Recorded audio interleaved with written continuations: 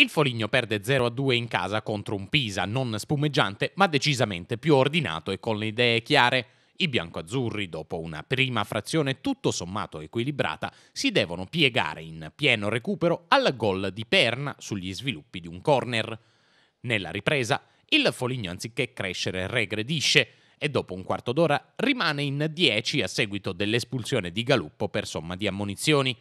I falchetti non riusciranno mai ad impensierire la porta toscana. Il Pisa è attento nella gestione e pronto a colpire in ripartenza, anche se alla squadra di Pagliari manca il cinismo per chiudere l'incontro. Lo 0-2 matura al terzo dei sei minuti di recupero concessi dai Luzzi su calcio di rigore per un fallo di Tuia su Perez dagli 11 metri e ancora Perna a battere Zandrini, condannando i Falchi alla nona sconfitta stagionale, la terza della gestione Magrini. Blocco psicologico no, ci sono delle difficoltà ovvio perché se sei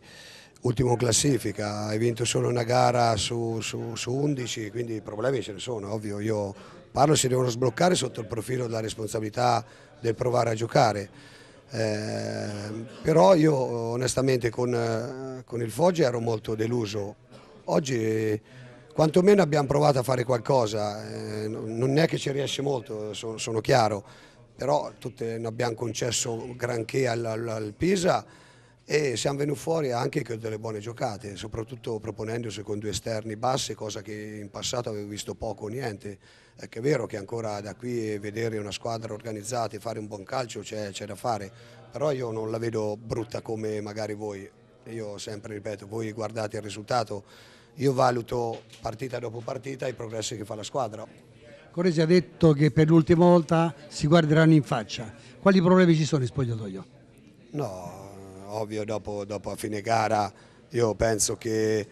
eh, non c'è da rimproverare nulla da, da, Coresi che è il capitano che era in preda dei crampi gli ultimi minuti eh, al più giovane, a Romano che povero ragazzo si è andato l'anima fino al 95esimo, ha attaccato la profondità, un terzino cosa che non avevo mai visto fare da qui nelle gare precedenti, quindi eh, ovvio eh, dobbiamo essere più cattivi, più, ecco, abbiamo, quello che mi dispiace è che abbiamo ripreso un gol su una palla inattiva, io ho sempre detto che voglio l'anticipo e oggi abbiamo preso una palla in peccato perché era finito il primo tempo, dove tutto sommato, primo tempo non bellissimo ma abbastanza accettabile diciamo, ecco, anche perché due minuti prima avevamo una buona palla noi,